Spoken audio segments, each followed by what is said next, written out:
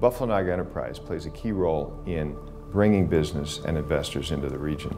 It's really the marketing voice for the Buffalo Niagara region. I look at the Buffalo Niagara Enterprise as the bridge, the bridge that drives new companies into the area. Look at its track record. Look at what it's actually achieved. $2.9 billion with 37,000 jobs either created or retained, 270 some companies. That's for real. The BNE is the only organization in the Western New York area that's looking outside, going outside, not just in the U.S., but around the world. Buffalo Niagara Enterprise has a great story to tell. And In order to get that message out there, we need investment dollars so that we can market the region. If a community is going to be competitive, you have to have an organization that's prepared, first of all, to identify opportunities and then respond with the information that the prospective new company needs to have to evaluate the area. When these companies in the individual sectors look to say, why should I be in Buffalo, New York?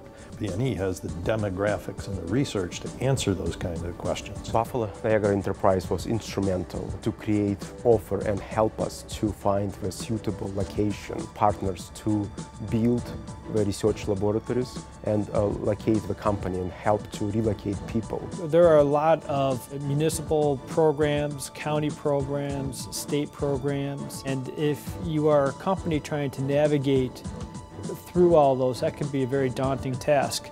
The advantage of the BNE is that it brings a lot of the economic incentives or the economic development tools that we have under one roof. If we're going to compete in the national competition or global competition for economic development, we need an organization like this and we need to support it. It's a private sector led initiative. 98% of the funding of the BNE is from the private sector. The more jobs that we can create, it's good for every business in this region. I can't sell tires to people that don't live here. Being involved in BNE is going to help you in your business. The simple truth of it is, is that none of us can do it on our own.